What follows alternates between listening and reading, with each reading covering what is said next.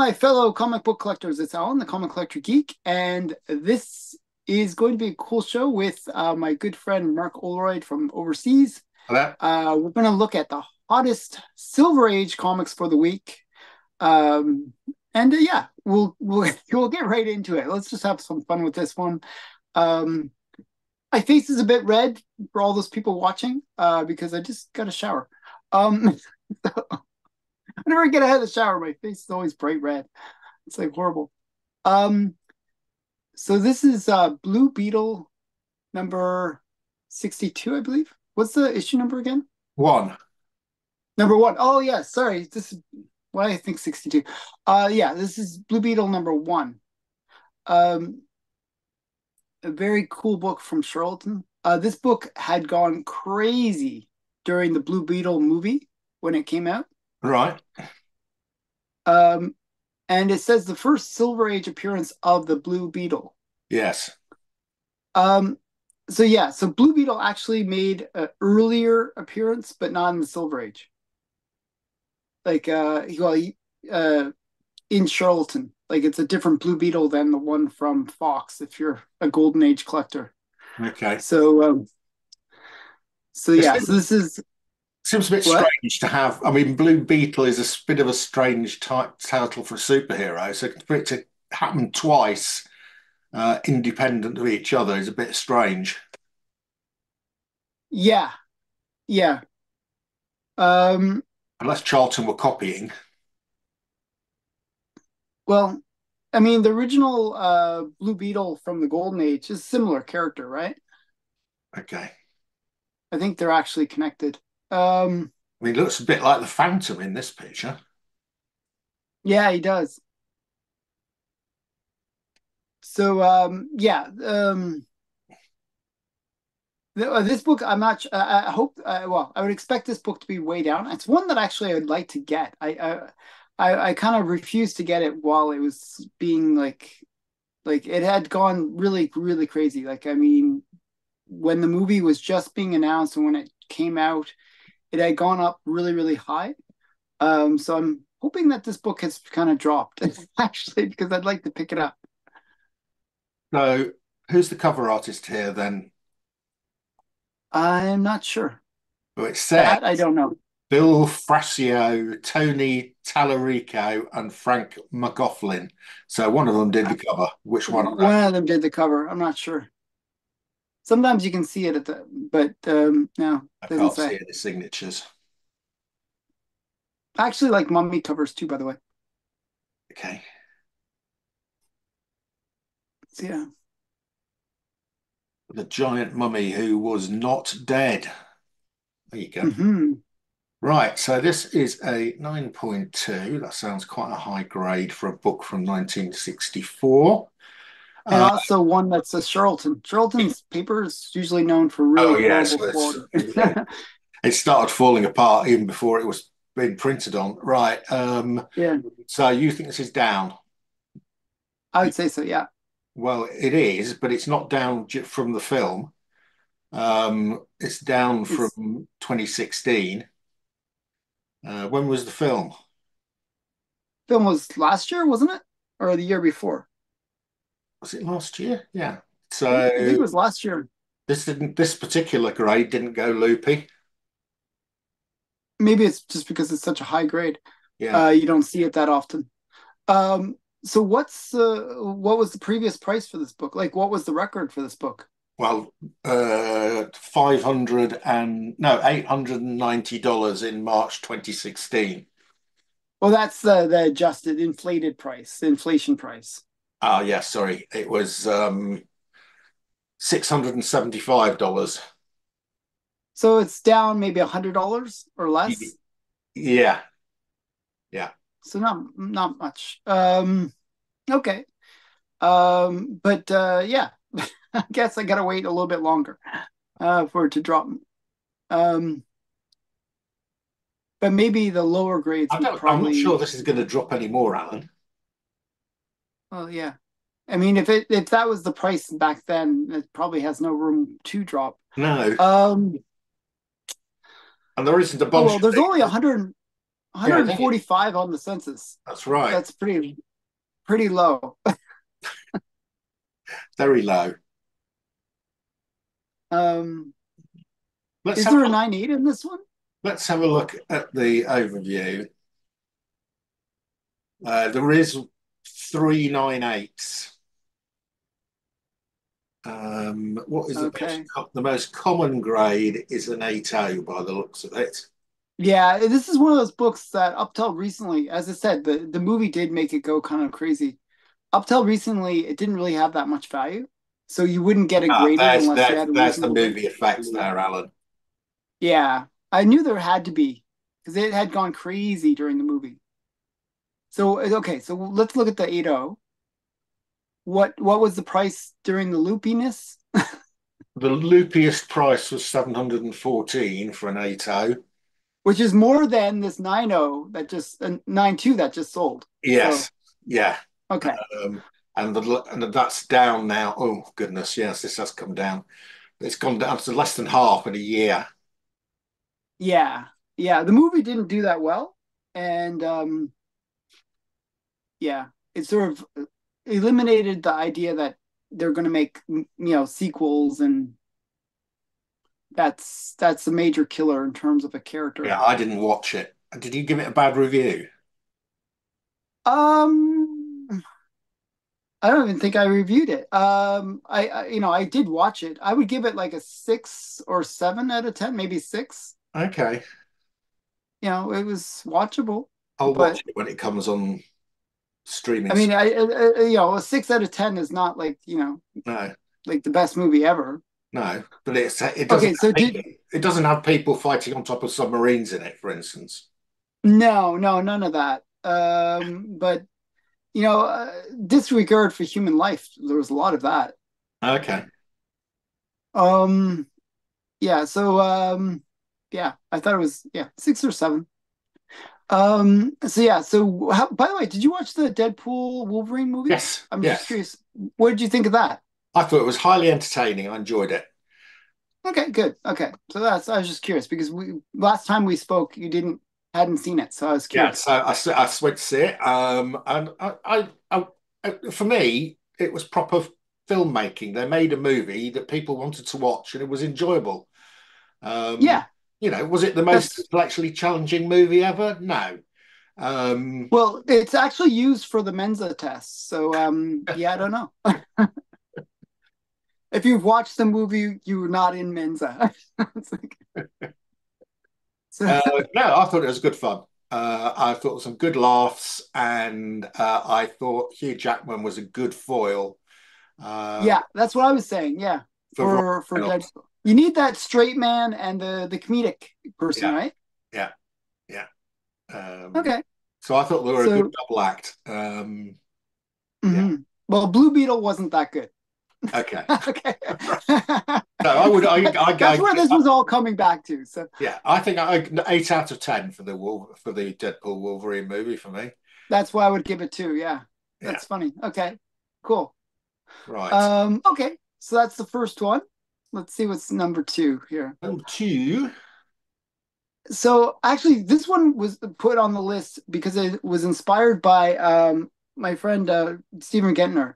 He Oh, um, was making a run of uh, the gold suit uh, Iron Man's. And Oh, he just right, kept on yeah. showing me pictures, and I was like, okay. Uh, and this one kind of got influenced by that. So I was like, oh, this is like, you know, the second appearance of uh, Iron Man. So it's Mhm. this Tales of Suspense 40. Yeah. Uh, but it's also the first appearance of the gold suit. Oh, does, does so- the gold suit appear in the first? Uh, in the No, he's wearing the he's wearing the the ugly suit, the the gray suit. Oh yes, of course. Yeah, yeah, yeah. So yeah, so this is his gold suit era. How long does But the yeah. gold suit, how long does the gold suit last? How many comics? it doesn't last that long. It's like maybe like I think six issues. I'm, I think it's something like that. It's not many issues, and then it goes to the gold and red, Yeah. and then that's the way we kind of know him now. But yeah. So, what do the notes say? Uh, second appearance of Iron Man. Armor changes from grey to gold. You see, you are spot on. Spot Uh, on. Jack Kirby, Don Heck, Larry Lieber, Sol Brodsky, and Steve Ditko art. So lots of talent. that is Kirby on the cover, though. Yeah, it looks like Kirby. Yeah, I would say so. Just the poses. I don't yeah, know. It's the, people, it's, this... it's the people in the background. Those are yeah, definitely... that, that is, that's another thing too.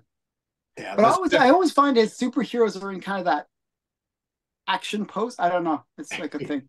I mean, what is this uh, guy in blue doing? He's like, you know, like, oh, the sky's falling. I don't know. and the woman yeah. the purple dress is completely nonplussed, isn't she? She's just carrying on. well, yeah, she's an extra that was just hired to be in the background. Okay.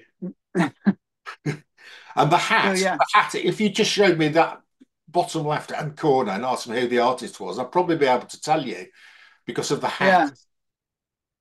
Well, yeah, also those hats, whenever I see that kind of hat in uh, comics, I think, okay, this is 60s. Yeah. Well, know, like probably also Kirby. Right. Yeah. Um, yeah, yeah. Very nice. Okay. Up, down. I suspect down.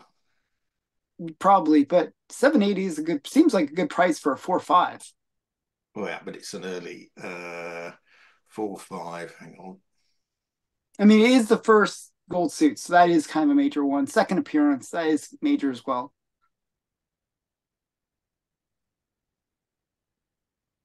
Uh, oh wow, that's a bit odd. I think we need to ignore that one, whatever that was. that was a massive spike.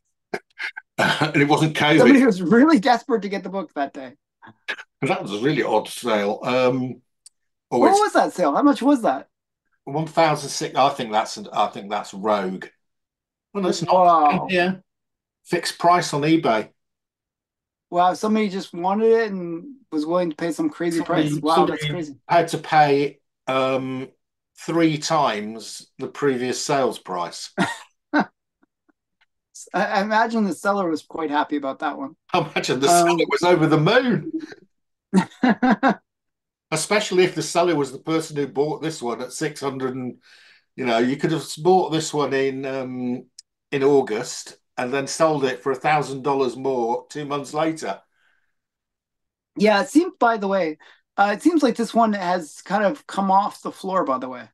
Mm-hmm. Just looking at those prices, it's kind of got yeah. a little bit of a yeah. I think it's up. found it's found its new level uh, around about here. And by the way, the new level, like if you look at this book traditionally, it was pretty flat. Yeah, and it was only Go back to here. Like, so October, that's October 2019. So it's significantly up from that. It was 321 then, and it'd been 321 forever. Uh, and it's now, yeah, now it's now comfortably sitting around 700, 750. So, yeah, uh, that's that's quite quite a reasonable performance. Yeah, so I mean, you know, it sort of shows that there's some love to this book. Um, I think people do like these early um, gold suit, you know, comics. Uh, it's probably Stephen causing disrupting the whole market. he, he's the disruption in the force. Um, if he's been out there buying up all the gold suit comics, that's why these have gone up. I mean, there's not hundreds of these. How many of these are on the census set? Let's have a look. There's 1,112. I thought 1,212. That's pretty low. It is quite um, low, yeah. But it is a mid-run comic. You know, it's not like um like people would have been like expecting some key element to this book, right? Where they would save it. Well, if you, you you might have gone, oh, look at that. Who's that man in the gold suit? Because you've never seen uh, maybe. Before. But yeah. uh yeah, I don't know. I thought it was a cool, a cool yeah. one. I always like that. Yeah, that's done all right. It's a book that I'd love to have in my collection. I don't have any um I don't think I have any of the maybe I have one gold suit one. That's I've it. got a, I've got a couple of really really oh, maybe two. I have the one where it's the smelter, so that's also yes. uh yeah called. suit. Right, number three, Bing Fang Foom. I always love this book. so, uh, Fin Fang Foom. Um, this seems, by the way, a really great price. So this is uh, Strange Tales 89. Am I wrong about that? Probably. No, you're correct about that. 89. Yeah. Yeah. Um, and it's the first appearance of Fin Fang Foom. Um, just so you know, I bought this comic and my copy is ungraded, but it's a solid. It's either a three or three five. It's it's actually my my copy looks slightly better than this one. Yeah. So maybe it's a three five. Um, and I paid a thousand Canadian back in the day. Uh, so that was like um, that was two three years ago. Okay. So how much did this sell for? This one sold for 800 US. Oh, okay. So it's gone down then. Yeah. So I mean that, and I bought it not during the height of COVID or anything like that. All right. So maybe it was maybe before COVID. So it was like, I think it was like 2019 actually. So five years ago. Wow. So when I saw this price, I was actually a little bit shocked because it's a, it didn't means means mine didn't fare so well. All right. Okay. Let's have a look at this then. How has this performed? Or maybe I overpaid at the time, but oh no, this is this has had this been in a steady decline ever since COVID. Uh, so during COVID, it peaked around two thousand five hundred. Mm-hmm. Now down at 840. So, oh, this is suffered badly. Uh, and is it? Yeah. How how was it before COVID? Did I overpay at the time? Well, it was a thousand dollars in October 2020. Yeah. So, um, you know, that's really before the the peaking, right? So, um, when did you buy yours? Yeah. 2019. It was must have been 20, like 2019. 2019 the, it must be 2019 or early to 2020. It was okay, somewhere around so there. somewhere between. Okay, so you should have paid. Uh, you should have paid about eight or nine hundred dollars, which is what you did pay. I actually paid less than that because okay. it's roughly like yeah, I paid about I paid about 900, 8 to 900. Uh, what you should have done was sold it. Uh, less than that, yeah. You should have sold it in September 2021 for 2600 Yes. You could have waited until now and, and then bought it, it again. yeah, and you'd made yourself um, about uh, uh, one and a half thousand dollars. Yeah, still have the comic. Yeah, I wish I kind of did that. Wouldn't it be cool if you could just magically go back and like have it so that all the comics in your collection you bought at the the lowest price, yeah. sold it at the highest, and then rebought it. Yeah and then have the extra money. I'd be for, I'd be super rich by then. Um, so yeah.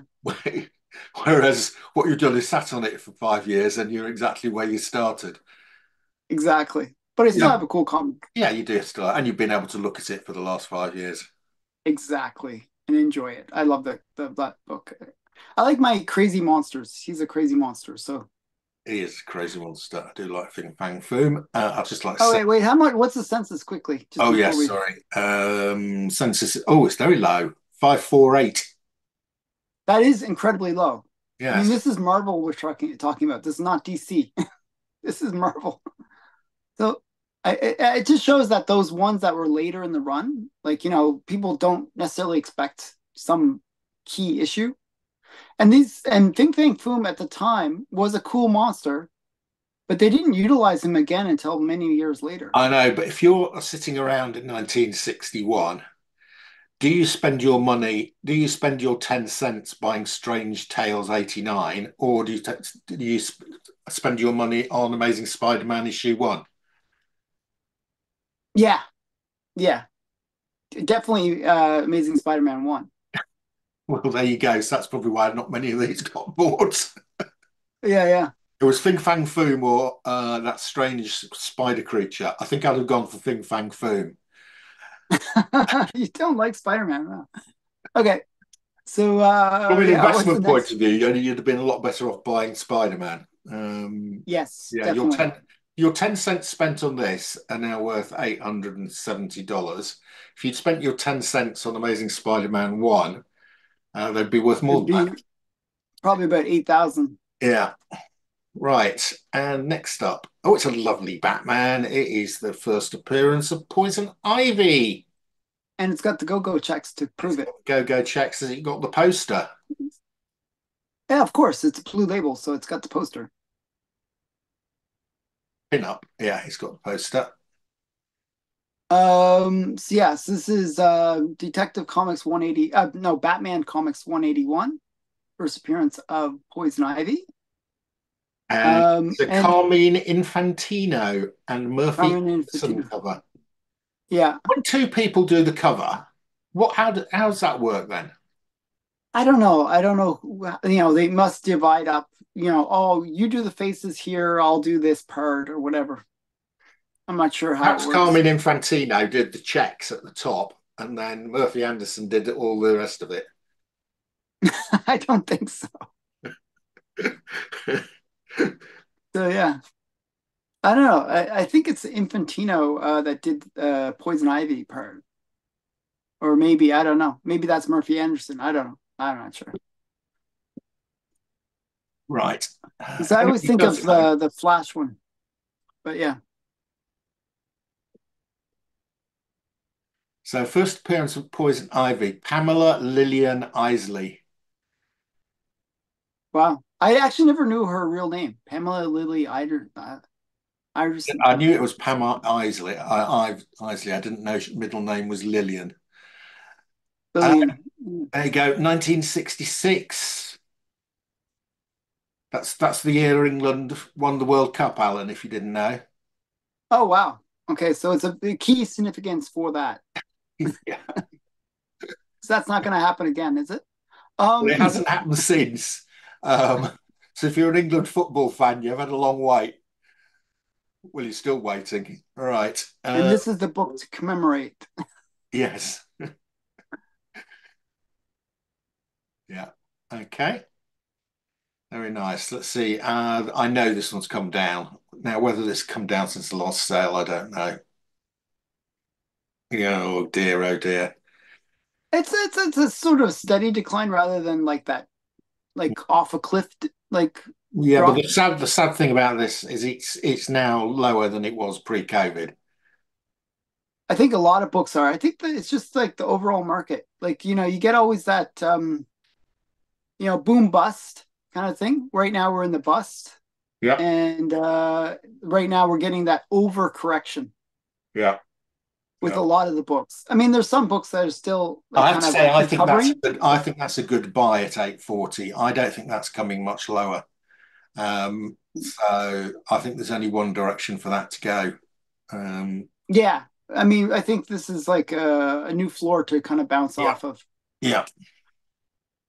I mean, it, you know, Poison Ivy is not just a um, like a, a character that was popular at one time and now forgotten. She's still they they still do a new Harley Quinn TV series, right? Yeah. With uh, that and Poison Ivy is the main one of the main characters. Yeah. Uh, Poison Ivy has her own. Uh, she's got her own title at the moment. She's running her. Yeah. yeah, she's had it for a yeah. couple of years. Yeah. So my point is like this is a this is a character that's front and center. It's not like one that's you know a blast from the past. Well, you know, she's she's all the environmental green people. Poison Ivy sort of fits in with that, doesn't she? Yeah, she's crazy just like them. So yeah. okay. Oh dear. I, right. I can see my channel getting demonetized so yeah. Yeah, uh, um, none, none, of the money uh, Alan makes from these videos uh, goes to uh, any environmental causes. No, uh, I have crazy stories actually uh, from actually when I was in university about that. So I tried to work as a canvasser for Greenpeace. You tried to do what with her? you know, do you know the company? do you know the like the nonprofit um, yeah, yeah. yeah. Greenpeace. Yeah. I tried to work for them when I was uh, when I was in university. Really? How did that go? Uh, I realized that all these environmental groups are just full of it. they were all about money. That's all they cared about. I was like, okay, you don't really care about the. No, they, they it was all about you gotta do you know use this to get money, use this to get money, get do you know. It was not about caring about the environment. It was not about that at all. It was just purely about money. I was like so disappointed.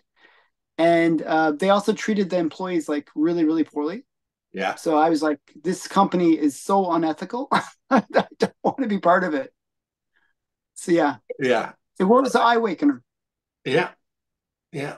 Uh, so um interesting. Okay, so that's enough about Alan. Let's go on to look at back to comics.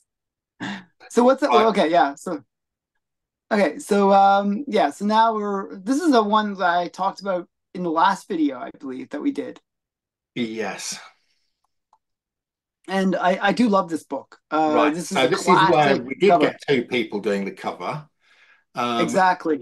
We got Steranko, who's got his signature on it, but apparently Alan tells me Marie Severin did the face. Yes. Steranko's face was too frightening. And too angry looking. This is yeah. more struggling looking. You know, they struggling to lift up his own name. Yes. He's straining. Yeah. I think it's a brilliant cover. It's very Atlas. Love the colors. Yeah. You know, Incredible Hulk battle. Yeah, and I quite like it when they use the trade dress as part of the cover, if you see what I mean, rather than it just being a mm-hmm. trade dress. You know what's weird about this one? Does it look a little faded to you? It does a bit, yeah. Yeah, the well, colors aren't yeah, that vibrant. It still looks for nine four. I think it is a bit faded, but it works. Yeah, yeah. Um, nine four, it can't be all that faded. Yeah, yeah. But sometimes what happens is, you know, you get it graded as a nine four, and then you leave it out in the sun. Do you know I mean? Yeah, yeah, yeah. You could do that. Um, Put it on your wall for a few years. Yeah, I almost want to see what another copy looks like if this is the way it is, that it is that color. I, I I don't know. I thought mine was a little bit more a little bit more purple, deep purple, and a little bit more green, if that makes sense. Yeah. Well, yes. So Alan does want more green. so nine four for seventeen hundred. Yes, that sounds low. Oh, it's good. It's actually this, quite this strong. This is really wow. held. This is really held up post COVID. I think we we when we talked about the book last time, we saw yeah. the same thing. Yeah, yeah. This is re- this is really held up. But if you look pre-COVID, pre-COVID price was about nine hundred, and it's settling here at double that, eighteen hundred. I mean, some we have seen this on a few books where the COVID it's held up. Um, you know, the price has not dropped back significantly. It's interesting which books have held up and which books have dropped back. Uh, you know, yeah, lot... I mean, it, it could have been that they were historically undervalued or underpriced. Yeah. And then when the COVID thing happened, people realized, hey, this is actually a pretty cool book. Yeah. Yeah. Maybe I don't know. I'm not. I'm just sort of speculating, but yeah, it's cool that it's maintained. Um, that's rare. for nowadays, right? Yeah. Was the other thing I Here, think, like, can we just it, can we take it, a look at one of the other copies just quickly? I'm just curious about the purples. Sorry to make you go down a rabbit hole. Just pick another copy that, like that one. See the purple? Do you see what I'm saying? Yes. Much deeper, right?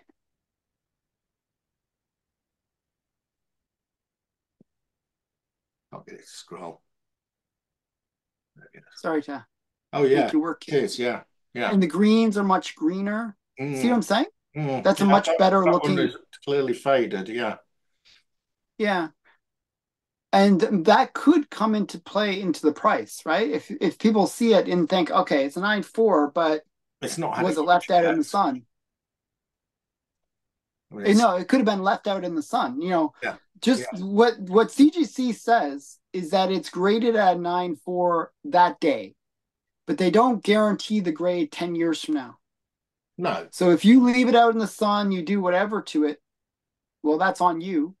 and it's maybe not a nine four anymore. Yeah. Yeah. Okay. So I thought that was interesting. Okay, so that is it for this part of the video, but we got some more cool books we got some more cool books and we're going to put them on Mark's channel. So go over to Mark's channel and check out the top five from this list. Um, some really cool ones. I, I was kind of, I liked this week. It was a good week. And uh, so, yeah, we'll also try to see if we can find another charity that Alan wants to dip. There's some good charities out there. I'm not. I'm not. I'm not a hater. Don't worry. Okay. So thanks again. Bye, everyone. Go over to Bye. Mark's channel. Bye.